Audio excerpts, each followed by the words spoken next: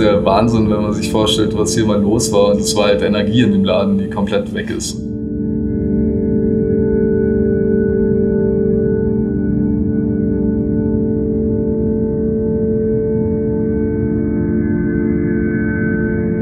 Das ist fürchterlich traurig. Ohne Scheiß. Aber wird er wieder anders. Wann?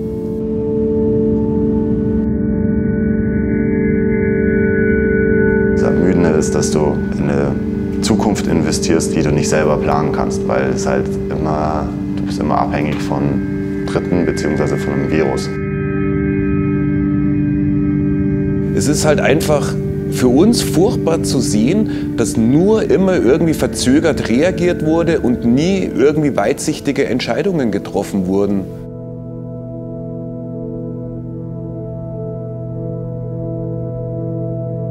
Es braucht einen Ort, wo auch der Alltag mal stehen bleiben kann, zumindest für den Großteil der Menschen, wo die sich frei fühlen können, wo sie sich ausleben können. Im Nachtleben arbeiten wir nicht einfach nur so als Job, sondern es ist schon eher auch so eine Berufung.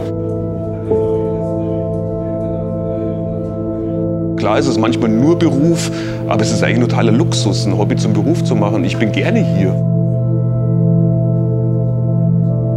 Ich kenne es, wenn ich nachts um 12 im Büro sitze, aber es ist, ich höre noch Konzerte oder Partys und plötzlich war es still wie im Friedhof. Das hat mich schon ganz schön runtergezogen. Es ist Musik, es ist Freude, es ist Kultur, es ist Zusammentreffen, es ist Gemeinschaft, es ist so viel für ein Menschenleben. Es ist eben Clubkultur und nicht nur Disco.